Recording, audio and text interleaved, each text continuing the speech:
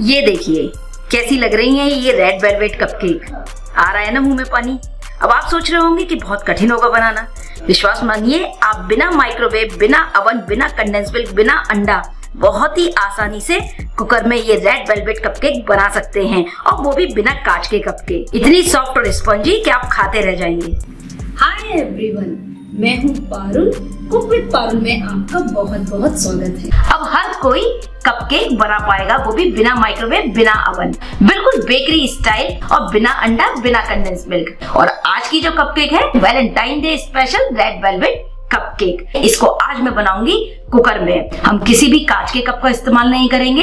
एकदम simple ingredient friends तो चलिए शुरू करते हैं। रेड वेलवेट कपकेक कुकर में बनाने के लिए सबसे पहले आप लीजिए कुकर कुकर में मैंने यहाँ पर लिया है एक कप नमक। सिंपल टेबल सॉल्ट जो हम खाते हैं। अगर आपके पास पहले से बेकिंग में यूज़ किया हुआ नमक है तो आप वो यूज़ कर लीजिए। ऐसा करने से फिर कुकर बिल्कुल अवन जैसा काम करता है। अब हम लगा देंगे लिड तो जब आप लिड लगाएँ तो इसकी रबड़ निकाल दें और हमें विसल की भी ज़रूरत नहीं है। दोनों ही चीज़ हटा दें, विसल और रबड़ और इसको 10 से 15 मिनट के लिए मीडियम फ्लेम पर गर्म होने दें। जब तक कुकर हो रहा है गर्म केक के लिए, हम लेते हैं एक बोल और बोल पर आप लीजिए एक इस प्रकार की छलनी।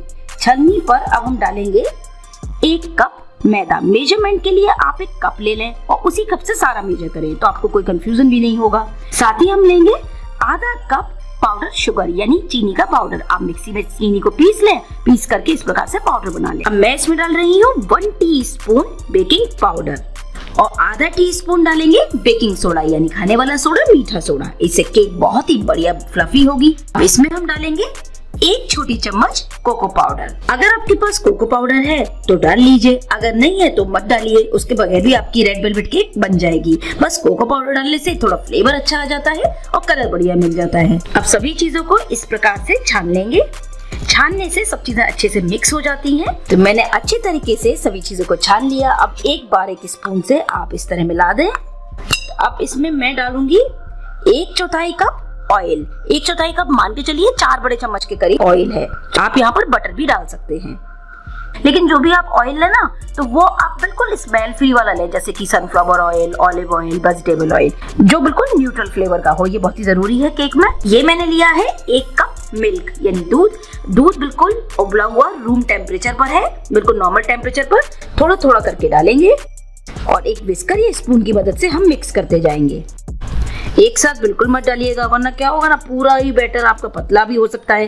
फिर उसमें सारी क्वांटिटी आपको बढ़ानी पड़ेगी, फिर रेशो गड़बड़ हो जाएगा। तो इसलिए आप थोड़ा थोड़ा करके ही डालें और धीरे धीरे जेंटली एकदम इसको हम मिक्स करेंगे। बहुत तेज़ी से बिल्कुल मिक्स नहीं करेंगे, वरना केक आपकी उतनी फ्लफी नहीं बनेगी। तो अभी मुझे इसकी कंसिस्टेंसी बिल्कुल परफेक्ट लग रही है। आप देख रहे हैं ना कि रिबन से बन रहे हैं, ना ही बहुत ज़्यादा पतला है और ना ही बहुत ज़्यादा गाढ़ा। तो लगभग ऐसा तैयार करने में मेरा तीन चौथाई कप के करीब मिल्क लगा है। थोड़ा सा बच गया है, अब मैं इसमें डाल रही हूँ एक छोटी चम्मच व्हाइट विनेगर यानी सफ़ेद सिरका।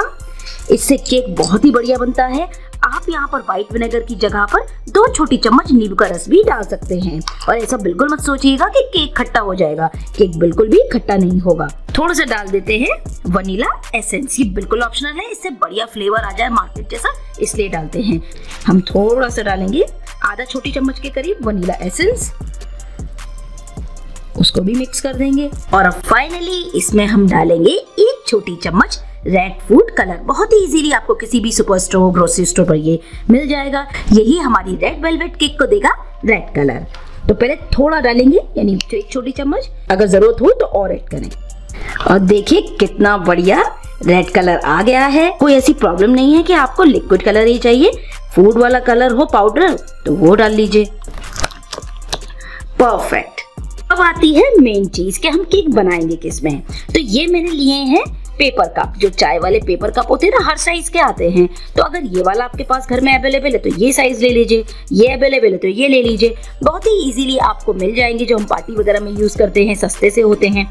तो इस पेपर कप में बहुत ही आसानी से कुकर में कपकेक बना सकते हैं। तो मैं थोड़ा मीडियम साइज़ वाला ले लेती हूँ। इसमें सही साइज़ की बन जाएगी। तो ये मैं ले लेती हूँ। चार से पाँच पीसेस जो मेरे कुकर में आ जाएँ। अब पेपर कप में डायरेक्ट मत बैटर डालिएगा। आप क्या कीजिए, एक दो बूंद ऑयल लेकर के इसको पूरा चिकना कर लीजिए। इस तरह कर सकते हैं। और उसके बाद थोड़ी सी मैदा डाल के डस्ट कर ले, या फिर हम ले लेंगे बटर पेपर अगर आपके पास बटर पेपर है, यानी पार्चमेंट पेपर है घर में तो वो यूज़ कर लीजिए। उसकी कटिंग करके इसमें लगा देंगे तो इजीली हमारी केक निकल आएगी। कप बिल्कुल तैयार है। अब हम लेते हैं केक बैटर और बैटर को कप में डाल देंगे। पूरा ऊपर तक कप को बिल्कुल नहीं भरेंगे क्योंकि केक बेक होगी तो फूलेगी भी, है ना? तो इसलिए आप थोड़ी सी स्पेस छोड़े ऊपर। तो मैं पूरा ऊपर तक नहीं फिल करूँगी। तीन चौथाई के हिसाब से हम इसे भर देंगे। ये देखिए, बिल्कुल इस तरह से मैंने ऊपर स्पेस छोड़ दी है। इसी तरह हम सारे कप को फिल कर लेंगे।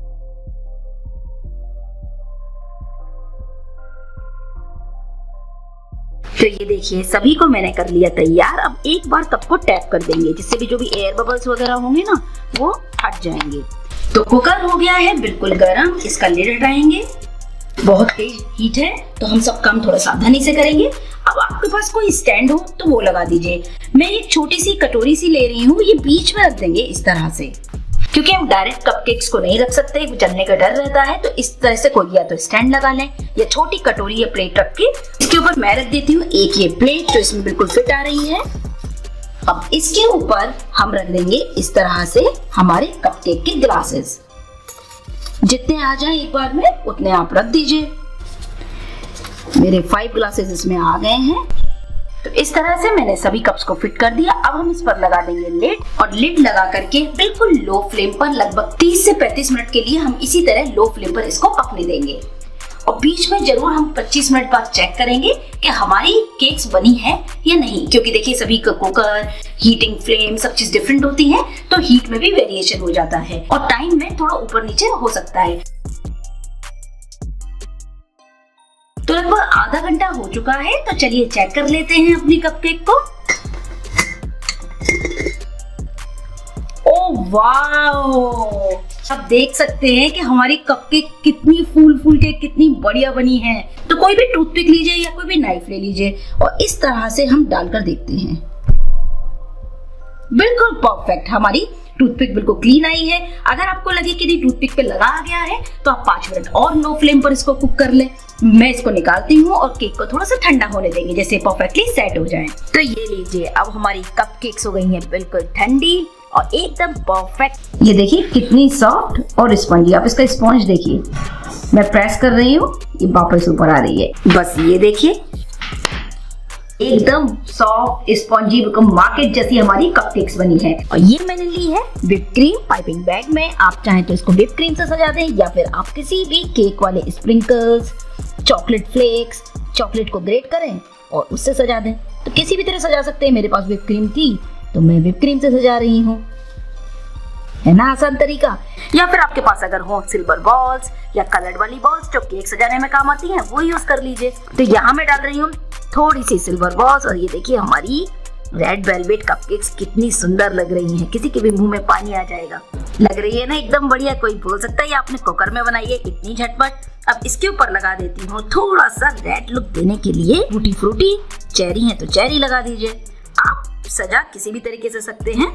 या आप इसी कपकेक का थोड़ा सा रेड वेलवेट केक लें, उसे चूरा सा बना लें, उसको भी डेकोरेट कर सकते हैं इसके ऊपर। तो लीजिए, हो गई आपकी कुकर वाली रेड वेलवेट कपकेक तैयार। देखिए। है ना एकदम माउथ वाटरिंग तो चलिए, अब मैं कपकेक को कर लेती हूँ यहाँ से कट बहुत ही आसान हो जाता है इस तरीके के कप्स में बनाना. इस तरह से मैंने यहाँ कट कर लिया और बस अब यहाँ से हम बहुत ही इजीली अपनी कपकेक को निकाल सकते हैं. है ना, कितना आसान रेड वेलवेट कपकेक बनाना बिना माइक्रोवेव के. और ये देखिए इसकी जाली. आप इसकी जाली देख सकते हैं. अब मैंने कप्स हटा दिए हैं कि कितनी परफेक्ट स्पॉन्जी ये देखिए. हमारी केक तैयार हुई है। Wow, super. ये देखिए, इसकी आप जाली देख सकते हैं। बिल्कुल परफेक्ट हमारी कपकेक्स तैयार हुई हैं। अब मैं खा लेती हूँ क्योंकि कट हो गई है। बहुत बढ़िया फ्रेंड्स ज़रूर बनाइए और सबको दीजिए सरप्राइज़ लग रही है ना सुंदर? तो बस अब आप सोचिएगा मत, फटाफट किचन में जाइए और मेरी रेसिपी से फटाफट से ये कपकेक बनाइए और सभी को कर दीजिए वैलेंटाइन डे पे खुश। मुझे पूरी उम्मीद है कि आपको मेरी ये बहुत ही आसान सी spongy moist red velvet cupcake बनाने की रेसिपी बहुत पसंद आई होगी। तो आप ज़रूर बनाएँ और मुझे बताएँ कि आपकी कपकेक्स कैसी बनी। अगर आपको वीडियो अच्छा लगा है तो please please please please like ज़रूर कीजिए। सभी फैमिली फ्रेंड सोशल साइट्स पर शेयर करें और मेरे चैनल को सब्सक्राइब करना ना भूलें। Thank you for watching cook with Parul जय हिंद जय भारत